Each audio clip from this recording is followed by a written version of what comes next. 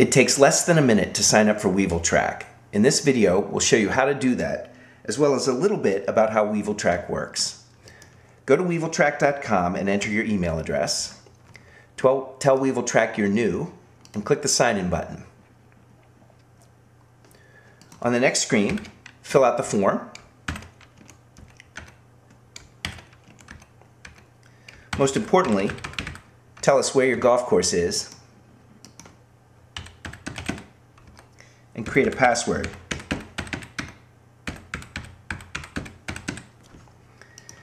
When you hit the next key, you'll see that Weevil Trak finds the closest research point to your location.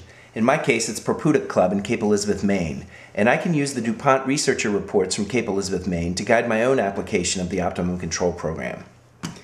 If your weather and climate conditions are closer to one of our other research points, you can choose a different default location, and on this screen we show you the three next closest points. But you don't have to do anything about that now, you can change this at any time in the program.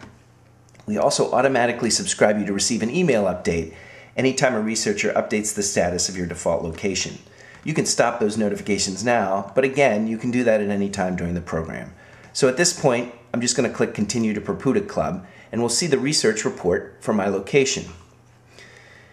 This is the most important part of the program. When you sign in, you'll be taken here automatically to your default research point report.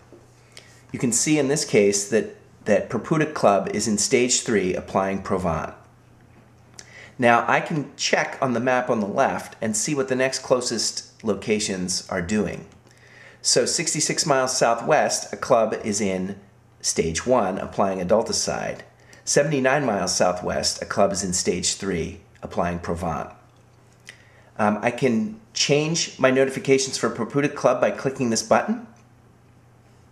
So that just signed me um, out that unsubscribed me, but I can click it again and I'll be subscribed. So just that easy to subscribe to an email.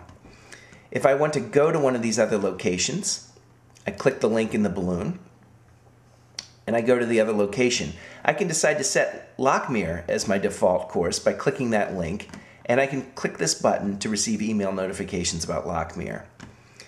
I can go to the overview map of all courses DuPont is monitoring and I can get a sense of what's happening throughout the annual bluegrass weevil region.